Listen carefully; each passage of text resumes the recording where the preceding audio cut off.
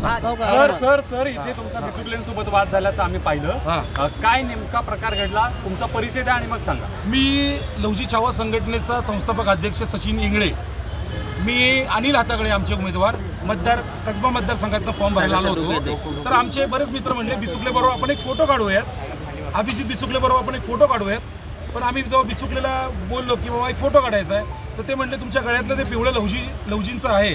आमच्या क्रांतीवीर लहुजी असतं साळवेंचं जे पिवळ्या झेंड्याचं आमची जी प्रतिमा आहे ती काढा. ते काढा म्हटल्यावर मी त्याला म्हटलं मी हे काढू शकत नाही.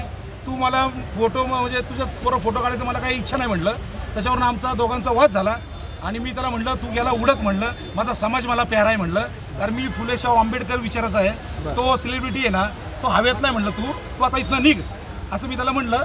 त्यामुळं खूप वाद झाला. खूप वाचावाची झाली मी त्याला म्हणलं हो मी शिवीगाळी केली त्याला डायरेक्ट त्यांनी पण केली नाही तर तो काय बोलल त्याला मी इथंच मारला असता.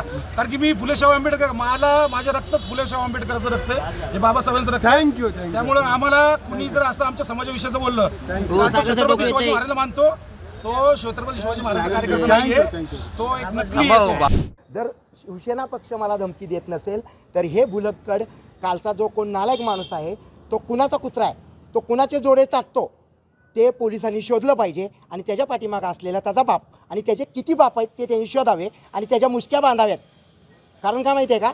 जर जर त्या नालायक लोकांनी काय केलं चंद्रकांत पाटील आमचे मित्र त्यांच्यावरती शाय टाकली उद्या ते आणून माझ्यावर रॉकेल टाकतील आणि प्रसिद्धीसाठी जर ते काय करणार असतील तर त्या बांडगुळ कुत्र्यांना आत्ताच्या आत्ता पोलिसांनी लगाम घालावा आणि त्यांचे धंदे काय आहेत? ते दोन नंबरवाले आहेत का? कोण लोक ते कोण? अहो मला माहिती नाही दादा तुम्ही तक्रार दिली म्हणताय ना आता अहो मी तुम्हाला हेच सांगायचा प्रयत्न करतोय. सेनेवरून काहीतरी वाद झाला मला तुमचा, कुठली तुम्ही ऐका ना काहीतरी बोलले काल, जर काय झालं? जर कुठली सेना आहे हे मला माहीत नाही कुठली सेना आहे काय आहे. एक माणूस आला तो मला फोटो मागायला आला. मला फोटो मागायला मी घाईत होतो. मी म्हटलं तू बाबा जरा दोन मिनटं थांब. दोन मिनटं थांब म्हटल्यानंतर तुमच्यासाठीच आलो होतो मी पत्रकारांना माझे काहीतरी अं, काय म्हणतात ते लुक व्हिज्युअल्स पाहिजे होते म्हणून मी आलो. आणि तिथं तो माणूस स्वतःच सांगतोय त्यांना मी बोललो तो माणूस स्वतः सांगतोय की मी त्यांना शिवी दिली म्हणून.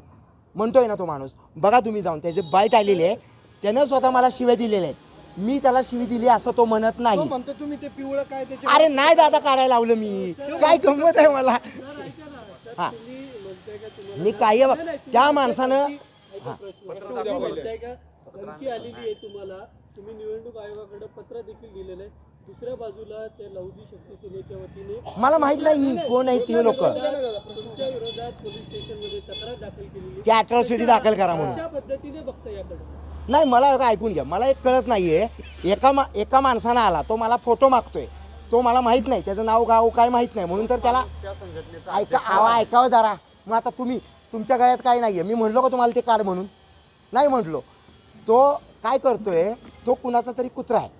तो कुणाचा तरी इथल्या प्रमुख नेत्याचा ऐका जोडे चाटतो. त्यामध्ये मी म्हणलो असं. नाही नाही त्यांनी ते निवेदन दिले त्या निवेदन त्यात मी म्हणलो की- हा. की महार मांगामध्ये वाद लावण्याचा प्रयत्न बिचुकले करतायत. हे खरं असं आहे लिहिलंय का? हो. मला तक्रार दाखवा. मला बघा बोलायचं असेल तर मी वाचल्याशिवाय बोलणार नाही साहेब. नाही का? मला जर माहितीच नसेल तर आपण तेच वाचू की यांच्या तक्रार आहे. मी कधीही कुणाचा वाद लावलेला नाही आहे मी स्वतः रोजे धरतो. त्यामुळे मी मुस्लिम समाजाला सुद्धा आपला समाज समजतो. आणि शिवाजी महाराजांबरोबर भरपूर मुस्लिम होते. जर तुम्ही तुम्ही जातीभेद करत असाल. वाचतो. अरे वा. थँक्यू थँक्यू जे रिअल आहे जे रिअल हे दिलंय का त्यांनी त्यांना? हो पोलीस. कुप्रसिद्ध म्हणतोय.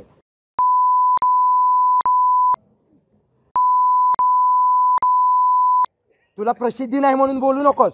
काय लिहिलंय बघा? कुप्रसिद्ध सिने अभिनेते. अरे माझ्या जोड्याजवळ उभी राहण्याची तुमची कुणाचीच लायकी नाही. आणि मी काय जातीभेद करत नाही? हा. वाचतो. थांबा थांबा. वा.